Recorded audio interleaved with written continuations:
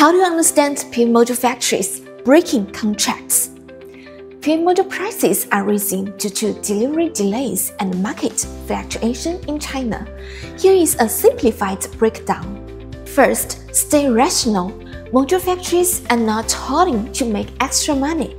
Chinese PV companies have more than 12 years of experience and strong values. They won't exploit the situation. Prices are rising across the whole supply chain. Costs for silicon batteries and manufacturing are rising, leaving factories with slim profits. Second, what factories should do? Acknowledge that delays and price changes really hurt trust. Communicate with partners to provide clear schedules and ease customer concerns. Third, take action.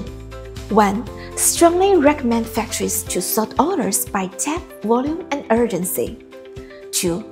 Prioritize the production for signed contracts and urgent projects. Use spare capacity for open trade. 3.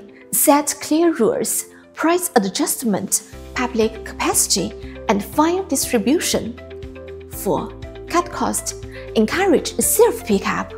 Order by full pallet to avoid waste time for repackaging customers and factories must work together.